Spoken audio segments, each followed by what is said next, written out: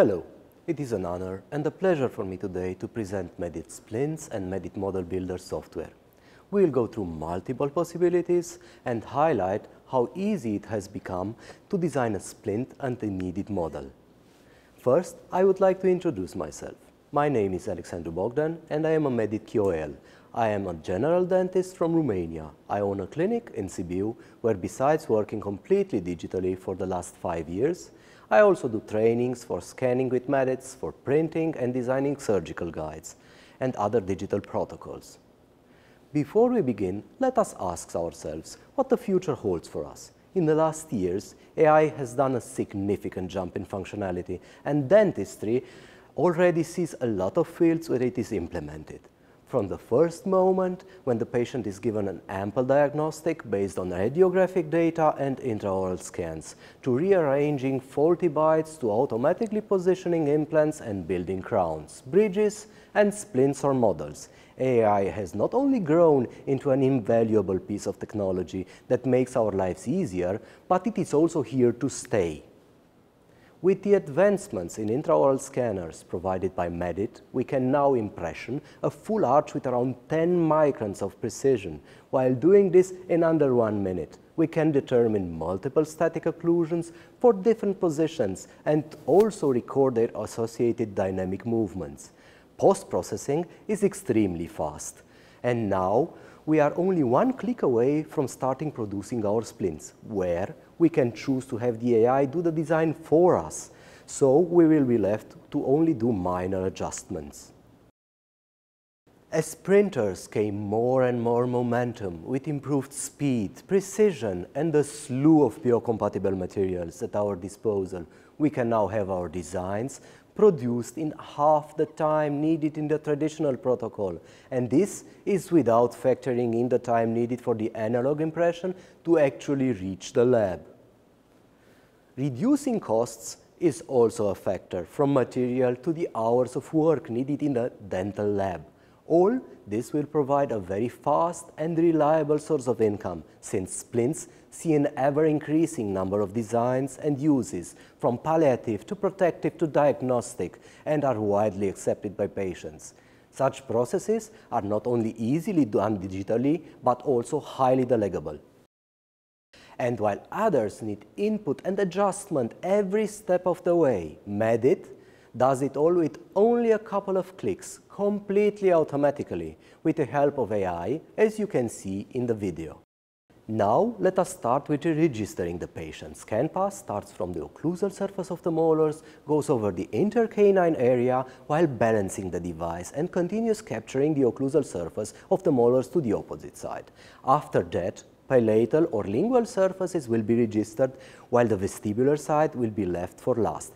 If there are any missing parts after the first pass, this can also be easily recorded now. I consider that precise arches have to be captured so that we can have perfect fits for splints, but also at a later date to see if there are any changes to this position. For this, I always use the reliability map that displays colors telling us how precise the scan actually is, with green meaning most precise and orange needing more data. Bite registration is first done in maximum intercuspation by capturing 3 to 4 teeth bilaterally, starting from the molar region and slightly tilting the tip up and down to the canines. Software easily picks the position of the arches. We go forward and record dynamic movements of the patient from MIP on both sides, getting protrusive and lateral movements to the left and the right, without stopping the recording while going from one side to the other to ensure correct representation of the dynamic intersection model. We will now add a secondary occlusal relationship to the case and use a leaf gauge to get it. For a more precise record of an open bite, I always try to also capture the occlusal surfaces on both arches by aligning the scanner tip up and down. Alignment is fast and uneventful. A Lucia jig can be manufactured when recording of the intermaxillary position requires neuromuscular deprogramming. This can be done quickly and easily as follows. After the installation of the software, Medit Splints will be opened by clicking the appropriate icon from the upper right sec uh, section. Will be greeted by the model selection dialog where we will assign the correct models to their corresponding tabs. Then we are going to we are going forward in manual creation mode and we'll select a Michigan type splint for the maxilla.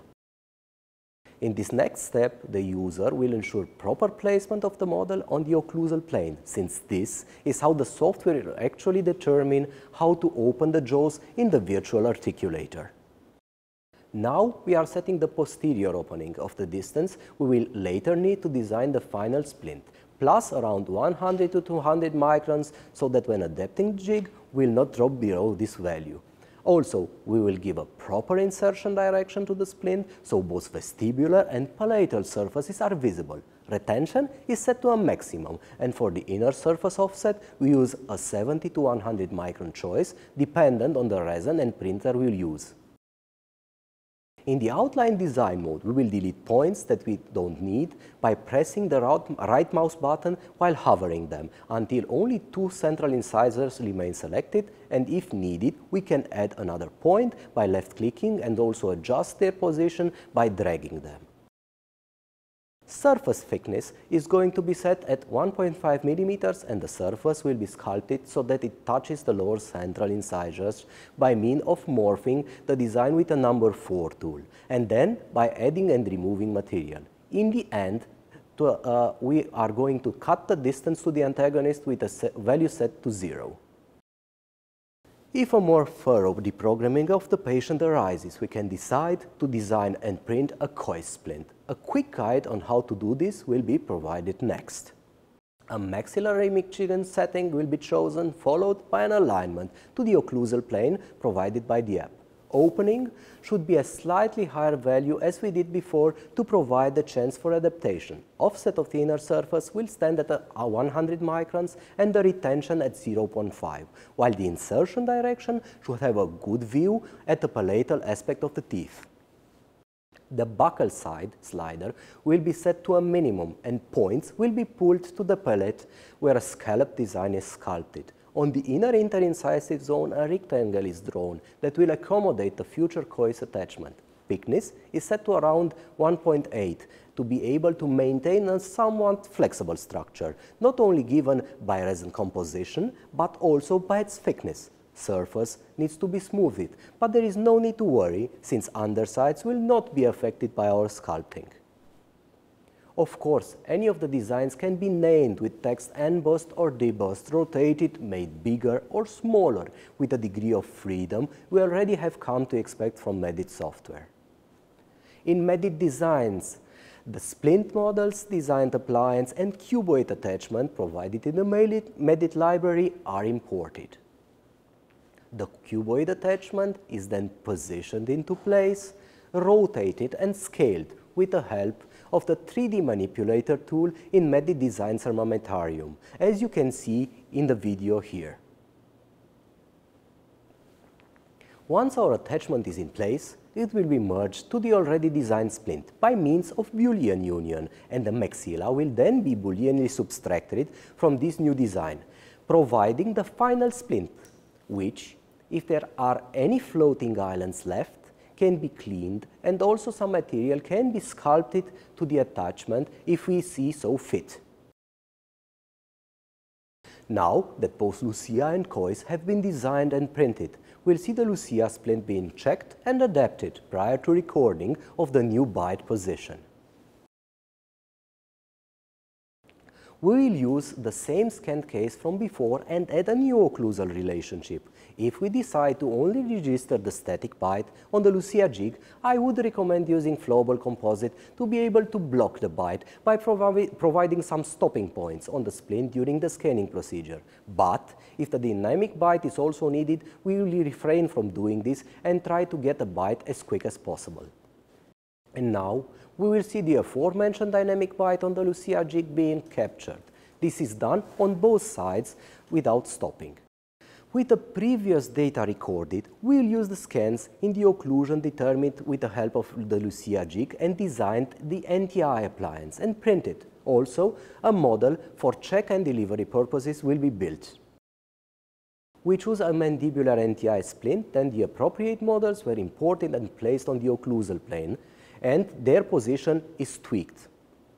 Also, no adjustment on the position of the models are needed since this was the reason we recorded the bite with the Lucia in place. Inner surface parameters are set to an offset of 0.1 and retention 0.1, while the insertion direction is aimed to encompass both low, lower centrals and laterals. Outline will fully include these four T's. The flat plane generated was first reduced from the frontal aspect with the removal tool and the antagonist visible, and then when the correct starting plane of the set splint was achieved, the upper model model was checked and the rest of the plane was adjusted, flattened, smoothened to the desired inclination. Material was added beneath this attachment to the surface so it would continue more smoothly uh, from the splint to the plane and also so that the lip would not interfere with the splint.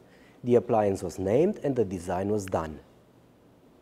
Model Builder was used to print the models of the patient in the occlusion recorded with the Lucia jig. The software allows us to exactly select the regions of the scan that we actually want to include in the models. We then need to align the scans to the occlusal plane so that the software can determine the orientation of the base of the models. In the base creation set, we can choose to build solid models or hollow them, out or do a honeycomb structure that will save resin. We can add drain holes and also a bevel if, print, if we print the models flat.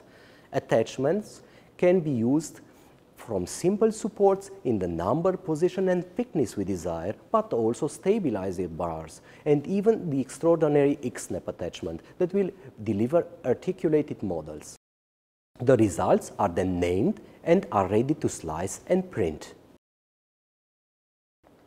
After designing splints and models, they are exported as STL files and brought in the AI cloud-based slicer from SprintRay, where they are oriented, placed on the print pad, and supports are added all automatically by the AI, and the results are then sliced and sent to the printer queue. We are still able to manipulate these steps, but this is seldomly needed. The placement and support adding also happens to the design splint and the result is going to be sent to the printer but it is going to be printed from a different material, from splint material. Now the actual printing takes place on my trusty SprintRay Pro 55S and we are sent a notification when everything is done. The structures are washed in the Pro Wash and automatically dried while still on the print bed. We then will remove any kind of supports and sim by simply peeling them off and will cure the prints in the ProCure 2, one of the fastest curing units I know that also has the curing times dialed in for any prints we do. Models are assembled and the height of the supports is checked with a previously built and adapted Lucia jig. The fit of the NTI splint is checked on the lower model and is verified and in the end we ensure that the height with the NTI splint in place is the same one as that we determined with the Lucia. NTI splint is delivered to the patient, fit of the appliance, then static and dynamic movements are checked and adjusted the splint will then be polished or candy coated for a glossy surface. Finally, we'll go through a Michigan splint designed with a slight difference that the dynamic movement model of the patient is loaded in the Lucia jig occlusion to help with design for the canine guidance. This method still needs to be checked and adapted, but only slightly. Manual creation is chosen, models are carefully checked, and then after we do this, they are going to get aligned to the occlusal plane where they are adjusted. Bite opening is not modified and the inner surface is set to around 100 microns and no retention is needed due to the splint being a full arch.